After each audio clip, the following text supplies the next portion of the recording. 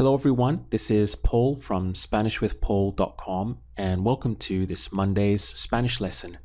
If you think about it, one of the most basic ways that we use language is to describe things. So we describe people, experiences, we describe our feelings. Now, to get you started, we're going to do something which is really quite simple. I'm going to give you the key vocabulary necessary to describe location. Because after all, what could be simpler than that? Describing where something is. In Spanish, we can do this with just a few key phrases, and I'm going to give you lots of examples and lots of practice. As you know, I always try to make you think things out for yourself because that's the only way you really learn. That's all coming up next. If becoming fluent in conversational Spanish is one of your goals for this year, then consider clicking the link above to download my free course books that go along with all of my YouTube lessons. You can also subscribe to my channel to get a brand new Spanish lesson from me every single Monday. So, with that out of the way, let's get started. The first thing to establish when talking about location is that it is will always be está.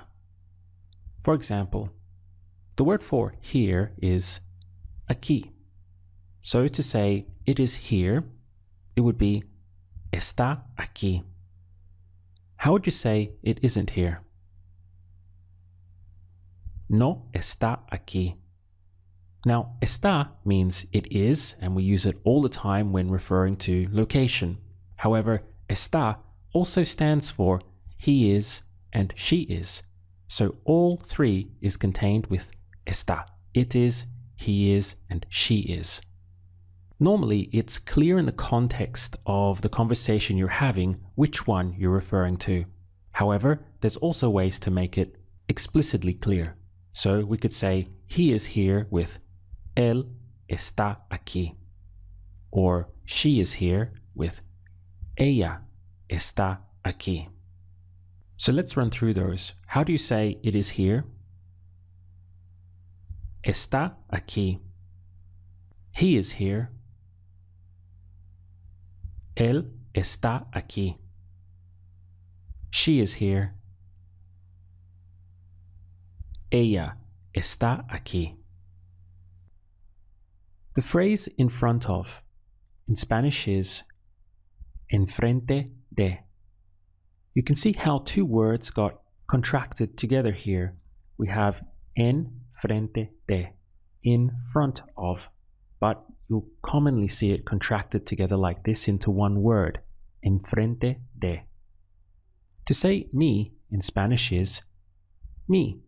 It's the exact same sound, just a difference in spelling. How would you say it's in front of me? Está enfrente de mí. What about he's in front of me? Él está enfrente de mí. How would you say she isn't in front of me? Ella no está enfrente de mí. The shop in Spanish is la tienda we have T with enda. La tienda. How would you say the shop is in front of me? La tienda está enfrente de mí. Now, how would you say he is in front of the shop?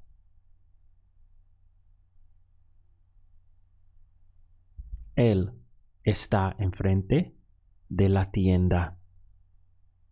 What about she isn't in front of the shop?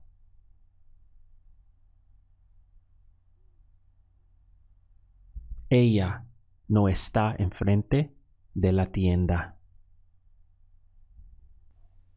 To say behind in Spanish is detrás de. This makes a nice little group. We have enfrente de for in front of and detrás de for behind or behind of. How would you say it's behind me? Está detrás de mí. It's behind her. Está detrás de ella. It's behind him. Está detrás de él. How would you say the shop is behind him? La tienda está detrás de él. What about this one? She is in front of me and the shop is behind her. Just pause and think it out.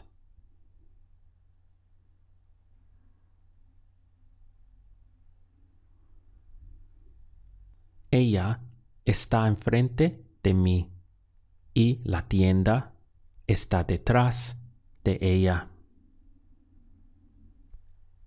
To express next to, in Spanish we have a few options, a few variations. So what I'll show you first is the easiest one. This is to express is next to me.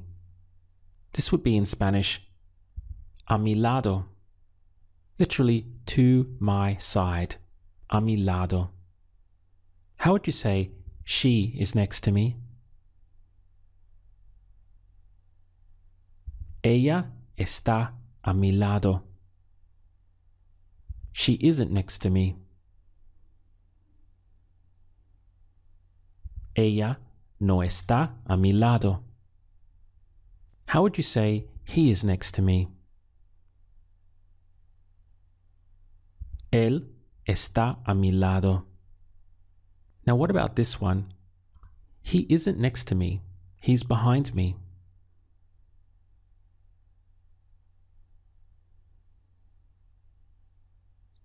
Él no está a mi lado, está detrás de mí. Notice that in this example, we only needed to use él once. Él no está a mi lado. Because after that, it becomes clear who we're referring to. Está detrás de mí. So this way, we can avoid redundancy by using él twice. It's just not necessary. Do you remember how to say in front of? enfrente de. Now, how would you say, she isn't next to me, she's in front of me?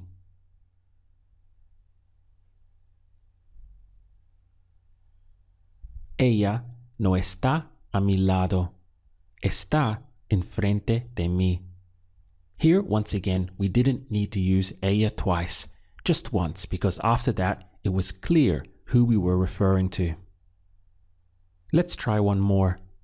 He isn't in front of me, he's behind me.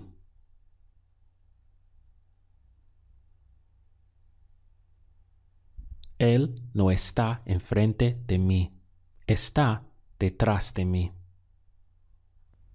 So far, we've been using a mi lado for next to me, but it can also mean by my side. What's the word for always? Siempre. Now try to say, she's always by my side.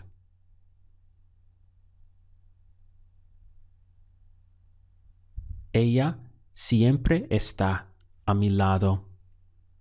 If you put the word siempre in a different location in the phrase, you would still be understood. But in this position, it sounds most natural. Ella siempre está a mi lado. How would you say he's always by my side? Él siempre está a mi lado. It's curious that in English we have a lot of words for near, near to, nearby, close to, close by, and so on. In Spanish, all of these are covered with just one. Cerca de. Maybe you can see the pattern so far. We have enfrente de, detrás de, and now cerca de. To express something very simple like it's nearby, it would be está cerca. How would you say it isn't nearby? No está cerca. What's the word for here? Aquí.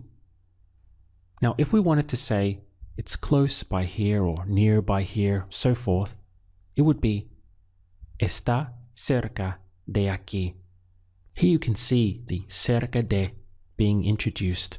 So we have está cerca de aquí. How would you say it isn't near here? No está cerca de aquí. What about it's close to me? Está cerca de mí. It isn't close to me. No está cerca de mí. Once again, what's the word for the shop? La tienda. Now, how would you say the shop is near to here?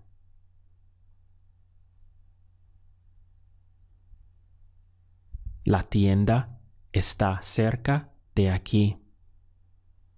How would you say she is close by the shop?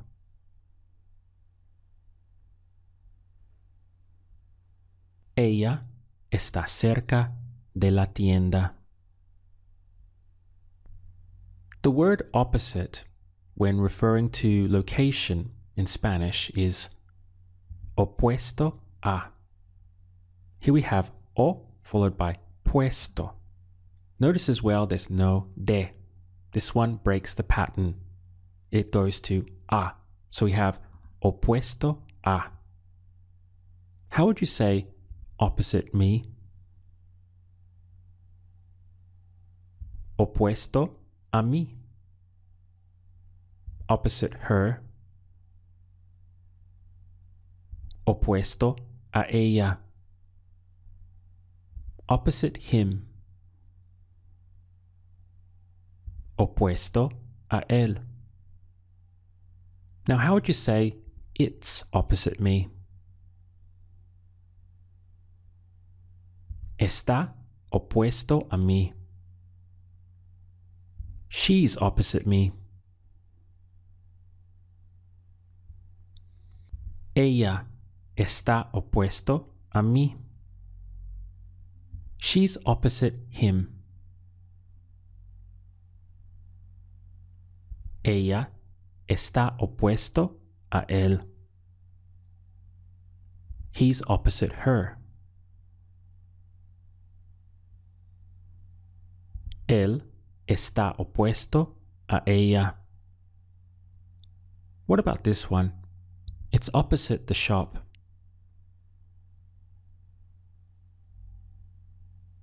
Está opuesto a la tienda.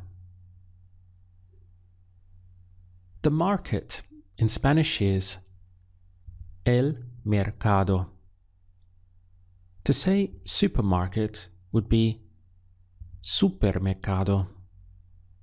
Now, this is a masculine word, so how would you say the supermarket? El supermercado. You'll also hear this contracted to simply el super. But we'll continue using the full version supermercado just to keep practicing our pronunciation. Let's try this next one. The supermarket is opposite the shop. How would you say that?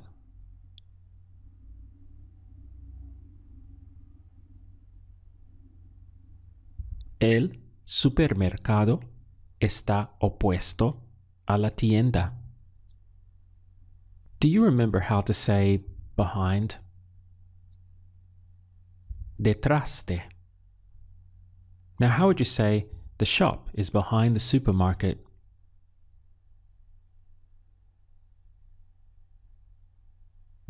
La tienda está detrás del supermercado.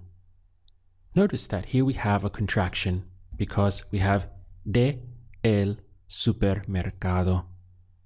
In common usage, this gets contracted to simply del. So this happens with masculine nouns. La tienda está detrás del supermercado. How would you say the supermarket is in front of the shop?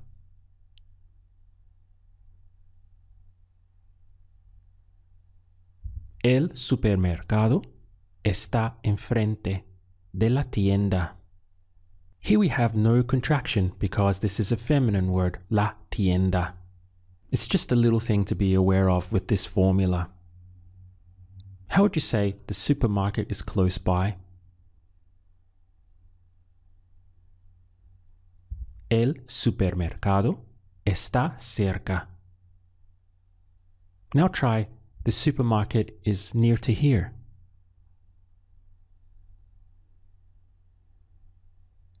El supermercado está cerca de aquí.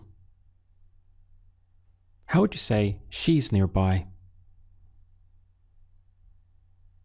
Ella está cerca. How would you say she's next to me? Ella está a mi lado. Now say she's always next to me. Ella siempre está a mi lado. If you're serious about learning Spanish and want to become conversationally fluent, my main course, Spanish with Paul, is live and available for you now. Inside, you'll get my complete course, none of which is available on YouTube, and also my personal attention to make sure you achieve conversational fluency in the fastest time possible. In short, if you like my free lessons on YouTube and the results they're giving you, then you'll love what I have for you inside the main course. You can click the link on the screen now to find out all the details. So with that said, I look forward to seeing you again in my next video.